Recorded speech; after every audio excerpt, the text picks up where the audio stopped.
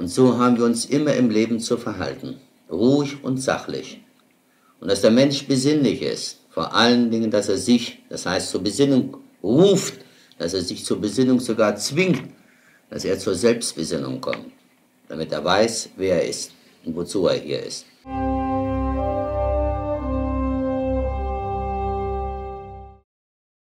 Nun, liebe Freunde, heute schreiben wir den 3. Oktober 1958 und wir befinden uns hier im Hause unseres Freundes Hermann Christoph, der ja wirklich unser Gastgeber ist. Das heißt, hier unser Gastgeber ist. Unser wirklicher Gastgeber ist ja Gott auf dieser Erde. Und das ist seine Erde. Und das ist sein Recht. Und wir haben uns nach unserem Gastgeber zu richten. Wie wir uns heute auch hier dementsprechend verhalten, indem wir uns auch hier unseren Gastgeber dankbar zeigen. Und Sie, liebe Freunde, haben sich so ruhig hier verhalten. Man müsste sagen, ja, ist, sind überhaupt Menschen da drin? Ist überhaupt einer drin? Ja, so bewegt man sich als Gast. Und das ist richtig. Wofür ich Ihnen allen meinen herzlichen Dank sage. Aber so müssen wir auch im Allgemeinen sein, im ganzen Erdenleben sein. Denn Gott ist hier unser großer Gastgeber. Und so haben wir uns immer im Leben zu verhalten. Ruhig und sachlich. Und dass der Mensch besinnlich ist, vor allen Dingen, dass er sich, das heißt zur Besinnung ruft, dass er sich zur Besinnung sogar zwingt, dass er zur Selbstbesinnung kommt, damit er weiß, wer er ist und wozu er hier ist. Nun, auch heute bin ich hier, wie immer nur Gast. Ich bin Gast unter Gästen.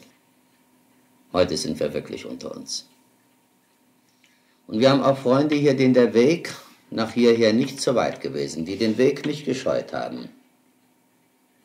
Unser Freund Christoph zuvor schon sagte, dass unser Freund Ziegert sogar von Berlin und hier in wird Namen Hopper. Hopper. Aber der Name ist uninteressant. Dass wir hier zwei Freunde, wirkliche Freunde unter uns haben, die auch diesen guten Weg zu gehen gedenken. Sie diesen Weg schon bejaht und den der Weg auch nicht so weit gewesen. Sie haben sie alle nicht so weit.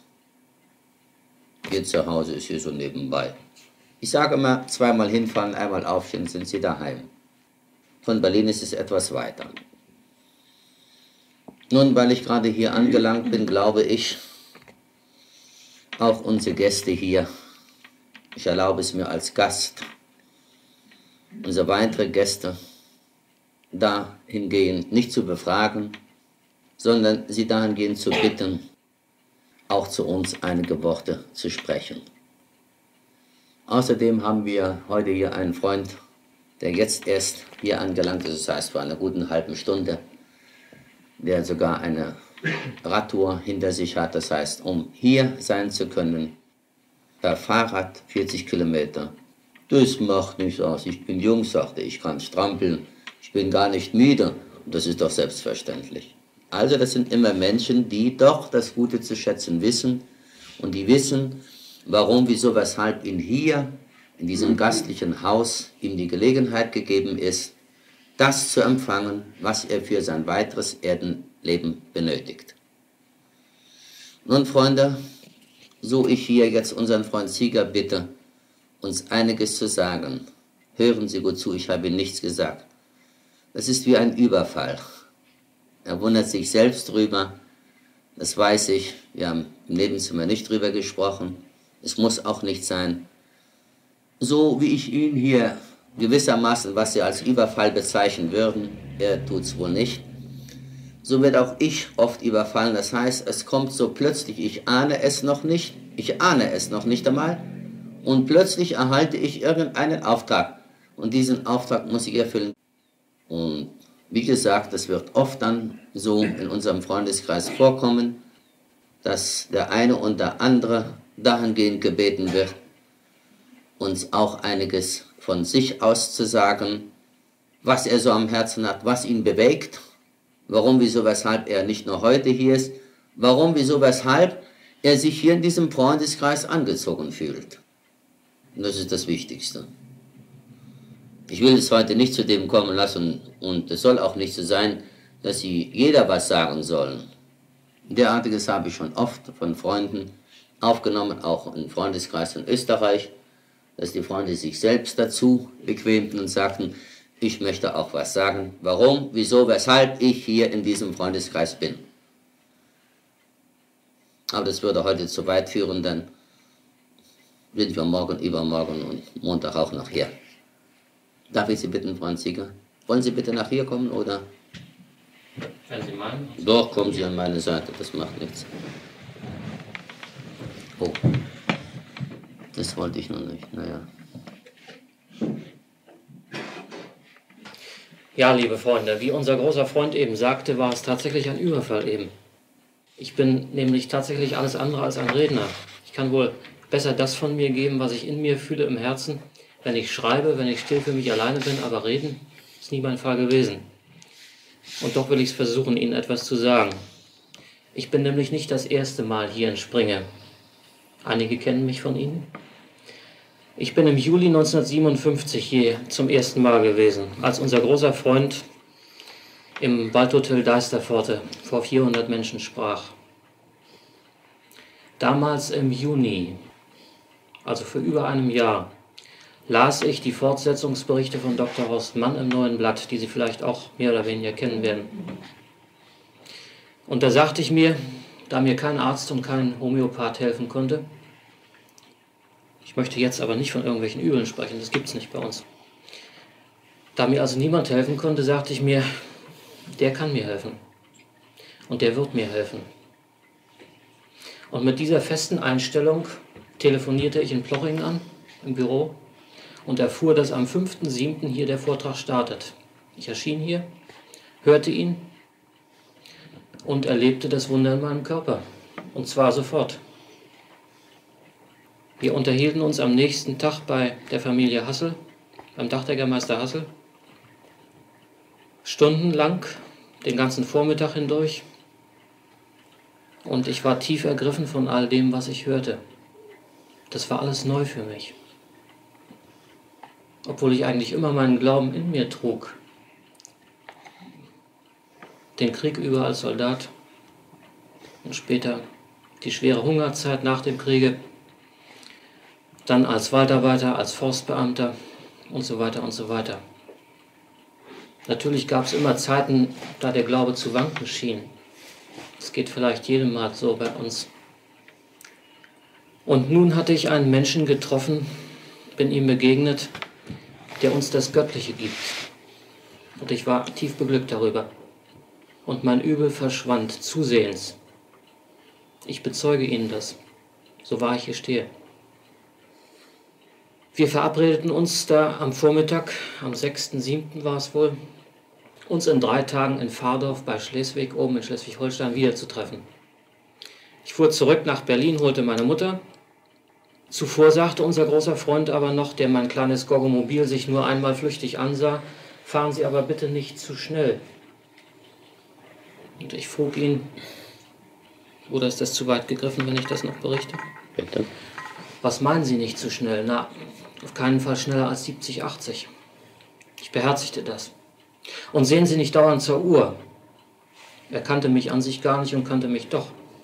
Und kennt mich auch. Ich hatte nämlich die Angewohnheit, oft zur Uhr zu sehen, wenn ich irgendetwas Bestimmtes terminmäßig vorhatte. Vielleicht eine innere Unruhe, möglich. Er wusste das. Sehen Sie nicht so oft zur Uhr, Sie haben ja Zeit. Ich beherzigte also die guten Ratschläge und fuhr nach Berlin zurück. Am übernächsten Tag brauste ich mit meiner Mutter ab Richtung Schleswig-Holstein. Es war ein knallend heißer Tag. Wir waren auf der Autobahn kurz vor Hamburg und ich vergaß den guten Rat, so dumm wie wir Menschen ja leider sind, und fuhr etwas über 100. Und das kleine 300 Kubik Motörchen vertrug das in der großen Hitze nicht und brannte fest. Ich verspätete mich etwas, obwohl keine genaue Uhrzeit abgemacht war. Und als ich in Fahrdorf ankam, stand unser großer Freund, ohne dass eine Uhrzeit vereinbart worden war, in der geöffneten Haustür und erwartete uns bereits. Und als ich ihm sagte, das und das ist mir passiert, da antwortete er, ich habe es ihm doch gleich gesagt, Sie sollen nicht so schnell fahren. Weshalb merkt es denn, sich denn nicht? treffend für das, für die Größe unseres Freundes. Das zu sehen, was sein wird, was war und was ist.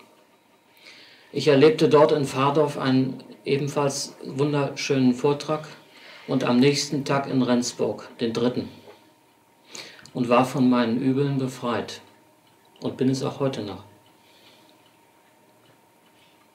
Im Mai trafen wir uns in Schlossberg bei Rosenheim und in Stephanskirchen.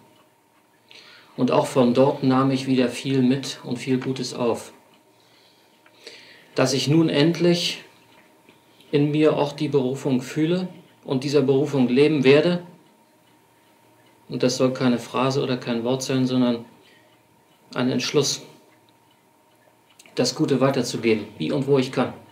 Es gibt gar nichts anderes mehr. Und das werde ich natürlich in meiner Heimatstadt versuchen, so gut ich kann. Und deshalb bin ich auch heute hier, nicht um den Strom zu empfangen, der mir über unendliche Entfernungen gegeben wird, ob es 100 Kilometer sind oder 500 oder 1000, spielt ja keine Rolle. Den empfange ich immer sehr stark, wenn ich mich darauf einstelle und wenn ich mich mit meinem Freund, mit unserem großen Freund unterhalte. Nein, nicht wegen des Stromes bin ich hier, sondern wegen der Worte, um sie in mich aufzunehmen, nicht nur durch die Ohren und den Verstand, sondern im Herz. Und ich werde versuchen, das meinen Berliner, Berliner Freunden, sobald ich eine genügend große Schar zusammen habe, weiterzugeben. Liebe Freunde, diese gesegnete Stunde, dieser gesegnete Abend, an dem wir hier zusammen sind, der wird für uns unvergesslich bleiben. Ergreifen wir doch wirklich mit der Gewissheit, wirklich gut zu werden und das Gute weiterzugeben. Die Hand unseres himmlischen Vaters, die uns hier liebend gereicht wird durch unseren großen Freund Bruno König.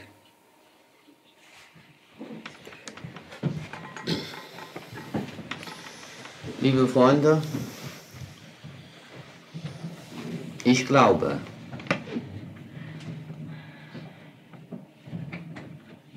dass unser Freund Sieger uns das gesagt, was bereits in seinem Herzen geschrieben steht. Ich glaube, dass er sich selbst erkannt, indem er selbst es ist, der jetzt bereit ist, dieser seiner Berufung nachzugehen, um auch hier seine Mission zu erfüllen, wie jeder andere Mensch hier auch hat.